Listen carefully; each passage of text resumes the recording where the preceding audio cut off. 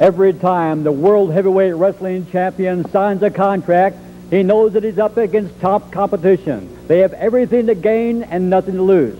This competition at a recent signing, the contract says Ted DiBiase, an outstanding opponent. Harley? Teddy DiBiase, Bill, as you know, is one of the finest young athletes in wrestling today. And sooner or later, down the pike, Teddy DiBiase is probably going to hold the world's heavyweight title. But that does not mean that it's going to happen right now. I said to myself, sooner or later, Race, you're going to be world champion. Well, it took 14 years before it happened the first time. Teddy, just because you're in a position that you've got all kinds of people talking about you,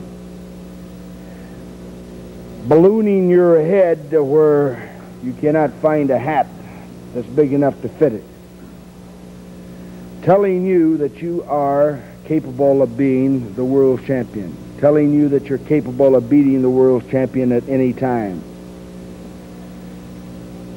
Well, don't let that big head overload your backside. Because, buddy, when you come for this, you're coming for the very best. You're coming for a man that's going to stop at absolutely nothing to keep what he's got. I've been in your position. I know where you're coming from. You're not going to stop at anything either. If you did, you don't deserve to be in there. You come, DiBiase, you bring it all and do exactly what you can do and do it as often as you can possibly do it because I'm going to be there on the exact opposite side doing what I can do better than any other man on the face of the earth. And that's wrestle, buddy. I'm going to be in there all the way. I'm not going to lay down and play dead for you or any other human being. I don't care how good a young wrestler you are. I'm the most fantastic, for the want of a better expression, old wrestler that ever walked in that ring. I am the king of that squared circle. I am the man of the hour. I'm the man that can say he can beat any man in the world because the top of the buckle says it for me. DiBiase, when you come for me, please come prepared for that man. Harley and Bob Brown against Paul Orndorff and Ted DiBiase. Well, this could be should be interesting. Orndorff and, and Ted DiBiase. Paul's probably a little thinner here than what he uh, wound up being, uh, and I guess he might say the same thing as myself. But although that shot there didn't look like it, did it? Uh, Teddy and Orndorff, back in, at this point in time, were both wrestling for Leroy McGuirk uh, and Bill Watts out of Oklahoma. And Bulldog was around the Kansas City area with Geigel, O'Connor, and myself. Uh, I think at the end of this match, uh, we don't want to give that away already, do we? Will watch it for a while.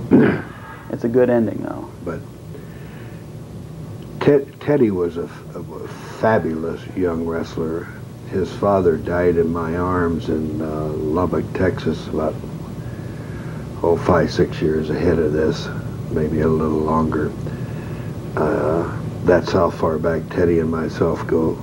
He was like maybe 10, 11, 12 years old when I first met him. And Orndorff was a fabulous football player. Uh, he turned down several different opportunities to play pro ball because this is what he'd always wanted to do all of his life. And he was just a phenomenal athlete. Look at the great bridge right here. Oh yeah, some of the things that he could do, strength-wise, was unreal, and just got stronger as the years went along. Uh, he was up around the New York area in the latter part of his career as Mr. Wonderful And if ever any individual could say that about themselves, Paul Orndorff was one of them. But again, uh, you're around around the uh, Missouri area and St. Louis being a part of it, fairly sure this tape here is from St. Louis. They had to deal with me while they were out here, and I wasn't all that easy to deal with most of the time. but, Yeah, this is a televised match from Wrestling at the Chase.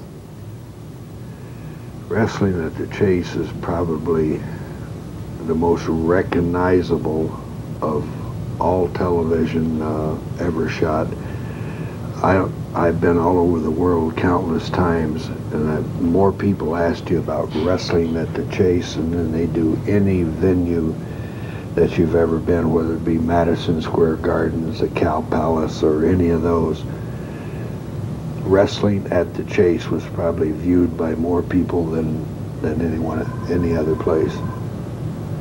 Had a pretty decent headbutt back then. Huh? Yeah, you use those quite a bit.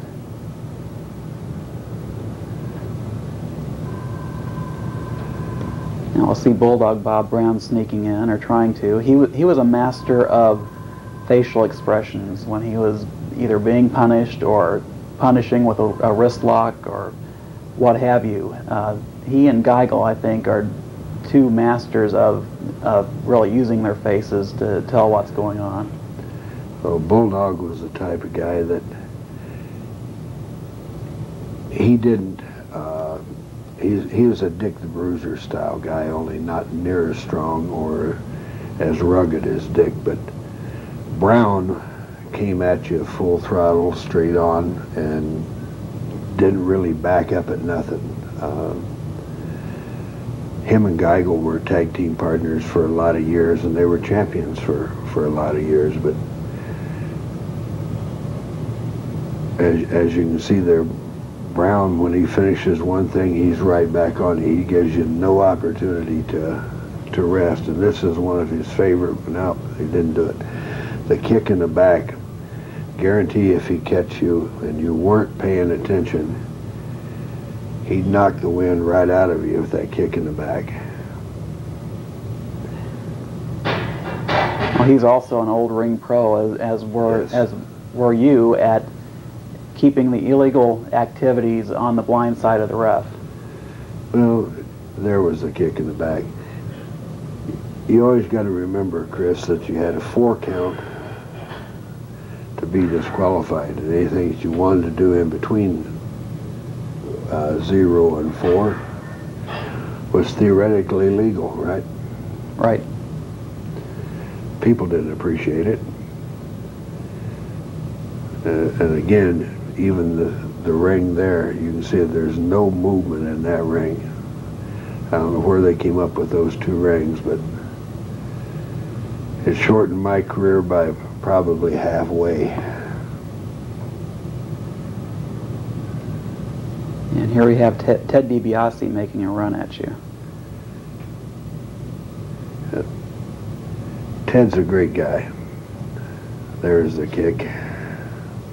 I always told him if he was kicking a soccer ball, it'd definitely go 100 yards. You know what Teddy's doing nowadays?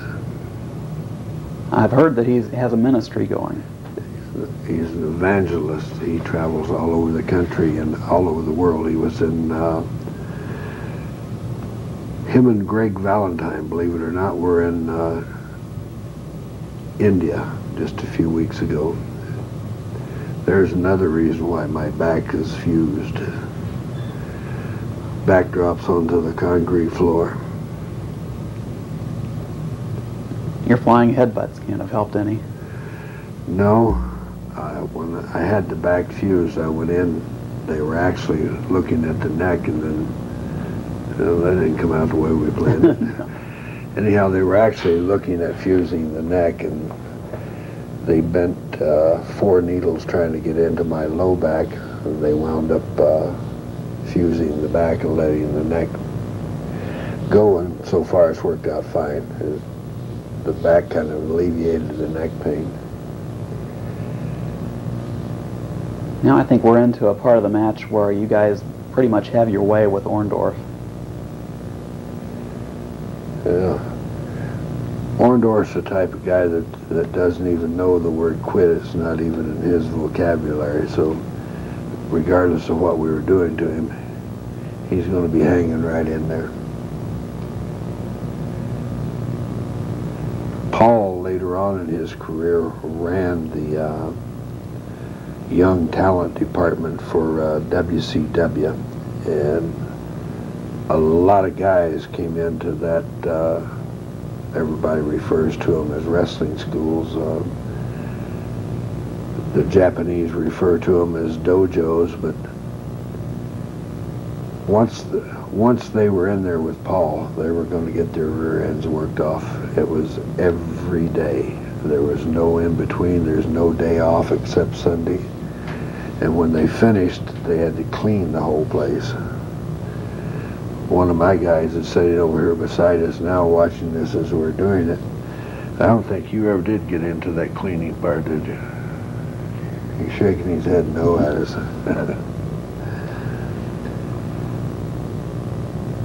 but it is kind of uh, fun watching these things. It takes you back a long way.